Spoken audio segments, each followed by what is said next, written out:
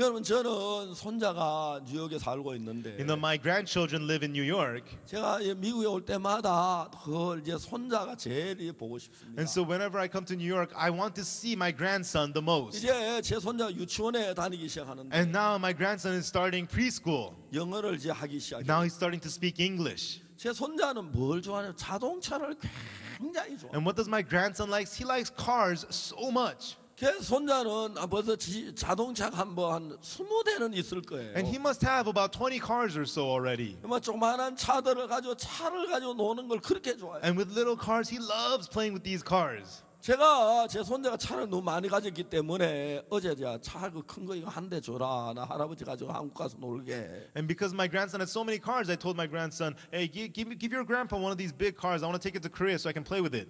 걔가 차를 나에게 주면서도 섭 Trump 표정을 짓는. And as he was giving me the car, he had this look of disappointment on his face. 내가 내 손자를 즐겁게 하려면 차 한 대 사가 가면 돼요. And for me to make my grandson happy, all I have to do is go buy him a car. 그러면 뭐 벤저나 캐드락 그큰 차 사는 게 아니고 조그만 차. Not big cars like Benz or a Cadillac, but just this little 그몇 car. 불짜리 차 사주면 제 손자 너무 너무 좋아요. For a couple dollars, I'll buy a little car from him. It'll make my grandson so happy. 제가 제 손자를 기쁘게 하기 위해서는 자동차를 사가지고 와야 돼요. For me to please my grandson, all I have to do is buy him a car. 여러분 내 손자가 좋아하는 게 자동차를 좋아한다. 내가 제 손자에게 다른 뭐 축구공을 사다 준다든지 다른 거 사주면 저 손자 관심도 없는 거예요. And so for my grandson, all I need to do is buy him a little car. He doesn't care about soccer balls or other things. 여러분 하나님이 인간을 만드실 때 마음을 만드셨어요. Everyone, when God made man, God made the heart. 왜요? Why?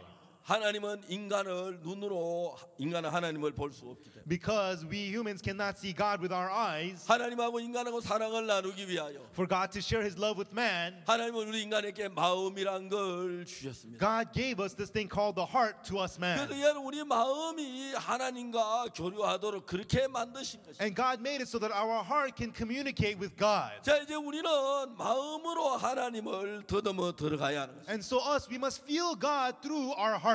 그리고 우리가 마음속에 하나님의 마음하고 내 마음하고 연결이 돼야 거예요. And in our hearts, we must become connected with our heart with the heart of God. 여러분 그거 그렇게 어렵지 않아요. Everyone, that, that's not too difficult. 여러분 성경을 펴서 읽어서 하나님의 마음을 더듬으면 If you open up the Bible and feel out the heart of God, 여러분 하나님의 마음을 성경에 아주 쉽게 발견할 수가 있습니다. you can so easily discover the heart of God inside of the 그러니까 Bible. 여러분 여러분 하나님의 마음하고 우리 인간의 마음이 연결이 되면 And if the heart of God and the heart of us man become connected, 여러분 그때부터 우리 인간 속에 하나님이 일을 하시기 시작합니다. and from then on, God begins to work inside of us man. 여러분 저는 IYF에 제가 일을 하고 있습니다. And right now, I work in the IYF. 여러분 IYF 학생들의 교육을 제가 담당하고 있는데 I am in charge of education for the IYF. 해마다 우리 한국의 대학생을 한 2천 명 가까이 뽑아서 훈련을 해서 거기서 한 700명씩 해외 봉사로 보냅니다. Every year, we train about 2,000 college students and send about 700 of them abroad as volunteers. 근데 여러분 저들이 그 학생들을 교육할 때 And when we train these students, 학생들이 굉장히 많이 변하는 걸 봅니다. we see that these students change so much. 여러분 그 교육하는 건 짧은 며칠 동안이지만 And the training is only a matter of a few days. 저는 성경 가지고 마음의 세계를 이야기합니다. And with the Bible, I talk to them about the world of the heart. 요즘 우리 주변에 중재 학생들이 청소년들이 정말 많습니다. Know, around us today, there are so many uh, uh, juvenile students. 여러분 게임 중독에 걸렸거나 There are students who are delinquent. There are game addict 도박을 students, 하거나, or they do do 술주저 games, 술에 취해 있거나 or they are drunk, 무기력증에 빠졌거나 or they have fallen into powerlessness, 아니면 마약을 하거나 or they do drugs. 그런 청소년들이 참 세상에 많아졌어요. And there are so many such troublesome students all over the world. 저는 그런 청소년들이 변하는 걸 정확하게 봤어요. And I clearly saw how these students change. 우리 IYF 일하지만 저 정부로부터 아무 도움을 받지 않고 있습니다. When we do our IYF work, we don't receive any help from the government. 우리 IYF라는데 엄청난 돈들이 드는데 And to run the IYF, it costs so much money. 그 많은 재정들이 어떻게 충족되느냐 하면은 And how do those funds come about? 대부분 학생들의 부모님들이 지원을 하고 있어요. It is mostly sponsored from the parents of the students. 물론 회원들이 회비도 냅니다만. Of course, the members pay their dues. 여러분 그 부모들이 왜 IYF를 지원합니까? And so, why do these parents sponsor the IYF? 정말 자기 자식들이 변하고 있기 때문입니다. Because they see their children changing. 정말 알코올 중독자들이 변하고 The alcoholics change. 마약 중독자들이 변하고 And drug addicts change. 정말 게임 중독자들이 And 변하고 video game addicts change. 저는 이런 저런 마음에 문제를 가진 사람이 변하는 것입니다. Various people with problems in their heart, they change. 여러분 저는 성경을 읽었습니다. And I read the Bible 내가 목사이기 때문에 because I'm a pastor. 나는 주일마다 여러 번 주님 앞에 저 교회에서 설교를 해야 합니다. On each Sunday, I have to give my sermon before the church. 위해 저는 성경을 늘 읽습니다. And for that, I always read the Bible. 제가 여러분 성경 읽다가 놀라운 사실 하나 발견했습니다. And as I read the Bible, I discovered something amazing. 그래서 제가 오늘 여러분 앞에 선 것입니다. And that's why I'm standing here before you today. 여러분 성경에서 제가 발견한 게 뭐냐면은 And so, what I discovered in the Bible is 하나님이 역사할 때 하나님 인간 속에 어떻게 역사하는 걸 정확하게 알 수가 있어요. when God works inside of man, we know exactly when God works inside of man. 여러분 하나님이 여러분 속에 어떨 때 역사를 하십니까? And so, when does God work inside of you? 여러분 열심히 기도하면 하나님 여러분 속에 역사하십니까? Will God work inside of you if you pray hard? 여러분 정말 몇 날 며칠 검식을 하며 기도하면 하나님 여- 역사하십니까? If you fast for days and days, will God live and work inside of you? 아니면 여러분들이 정말 하나님께 연보를 많이 드리면 하나님 일을 하십니까? Or if you give a lot of offering to God, will God work in you? 아닙니다. 그래서 역사하는 게 아니에요. Not so. That's not how God works. 여러분이 율법을 지키면 하나님 역사하십니까? Will God work upon you if you keep the law? 아닙니다. Not so. 아주 단순합니다. It's very simple. 들어보세요. Please listen.